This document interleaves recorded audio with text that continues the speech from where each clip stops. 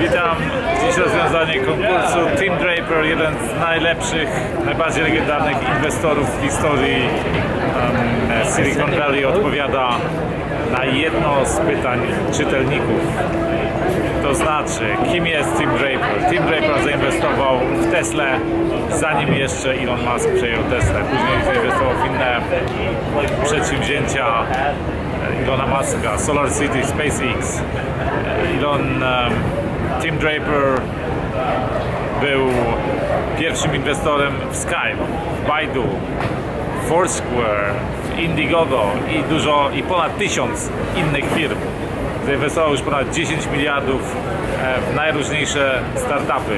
Jest uważany za najlepiej znetworkowanego venture capitalist, czyli inwestora w Silicon Valley. No pozwólmy jemu odpowiedzieć na jedno z waszych pytań. You certainly encountered many like moments where everything seemed to be against you in your in your business career. Uh, is there any thought you cherish in that moment? Maybe a motto or or maybe an experience you recall in uh, that situations which uh, makes you you know stronger well here's you know when you had a bad day at school mm-hmm.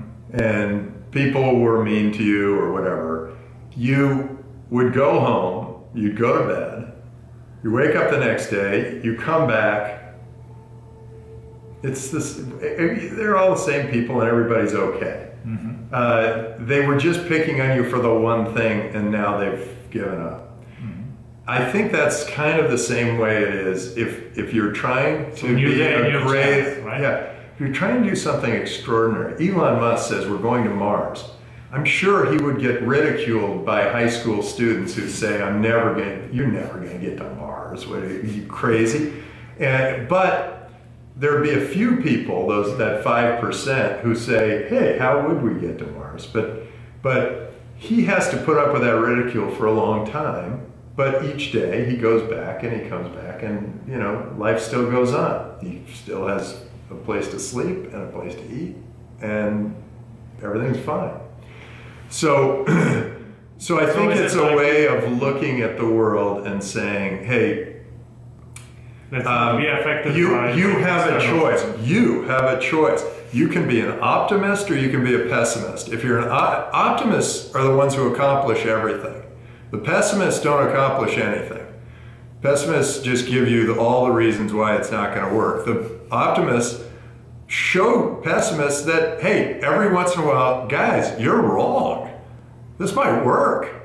And, uh, and so be a, I think, be an optimist. And an optimist actually has, uh, that's why you know, Jurvetson thinks I'm always happy, uh, is because, hey, I'm generally optimistic. If things, the other thing is when you're young, play a lot of these games where you where you can lose or get into horrible situations because then you have simulated all of the emotions you're going to go through when you go through life.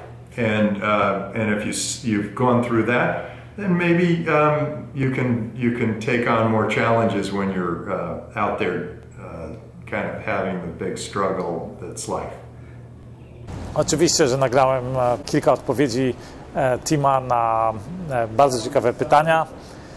Jeśli nie chcesz tego przegapić, to tutaj zasubskrybuj, a tutaj obejrzysz inny ciekawy filmik, który ostatnio nagrywałem. To tyle. Dzięki z Silicon Valley. Do zobaczenia.